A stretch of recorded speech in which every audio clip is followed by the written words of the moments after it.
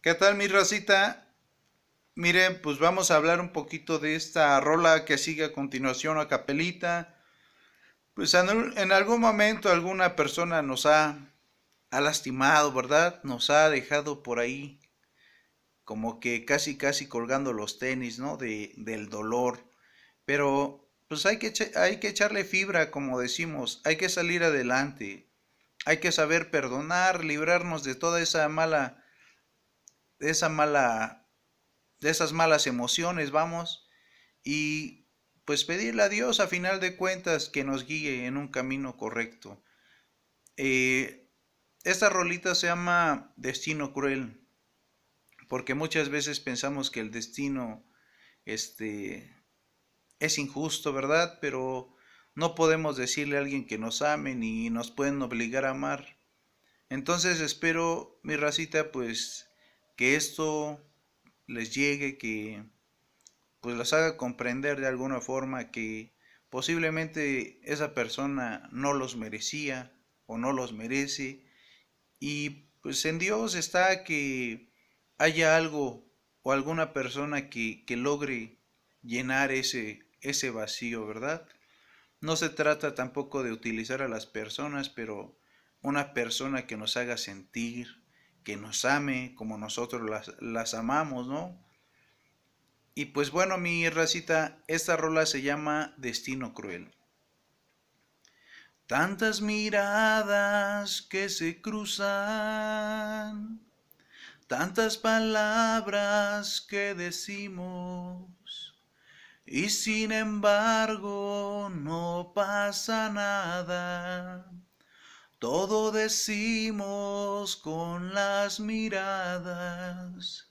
Y aunque nos amamos tanto tú como yo, pensamos que es mejor olvidarlo.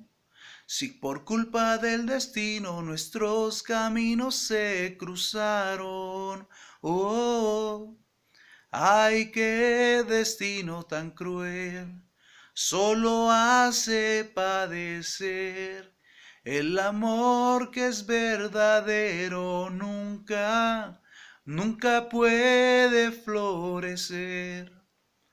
Ay, qué destino tan cruel, es mejor ya no querer. Porque cuando quieres a una mujer, se aleja y te deja, porque piensa que no la sabes querer. Ay, qué destino tan cruel, solo hace padecer.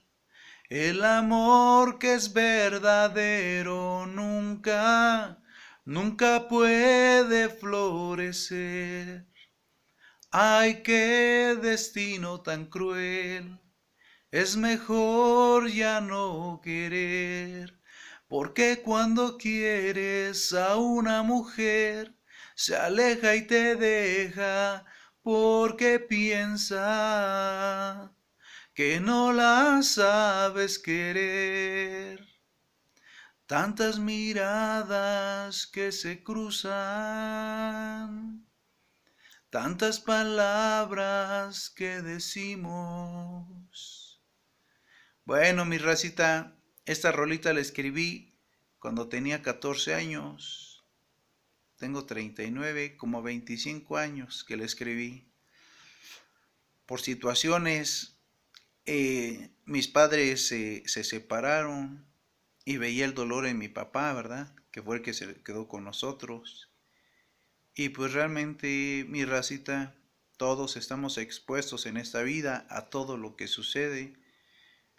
Simplemente, mi gente, hay que tomar ese valor en Dios, en uno mismo, ese amor propio, ¿no?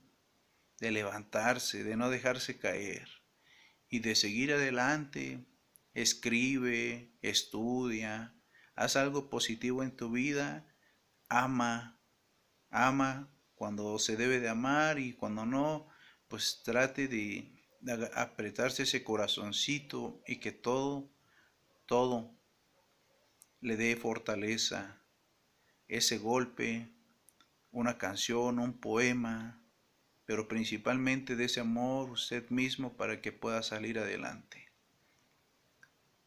Poco a poquito, aunque usted no tiene que darle a nadie, usted solo, ¿sí?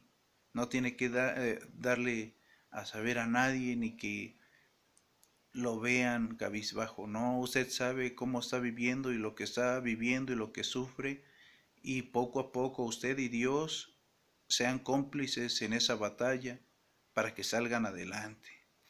Y saldrá, saldrá y se sorprenderán cuando usted salga y sea esa persona victoriosa. Es lo único que le puedo decir, hermano, si usted está pasando por una situación así.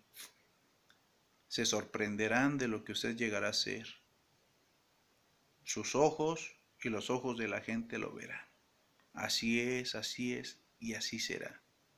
Cuídense mucho, hermano, échele muchas ganas. Todo duele, somos seres humanos, es válido, pero también es válido que nosotros nos amemos y nos elevemos, salgamos adelante. Cuídese.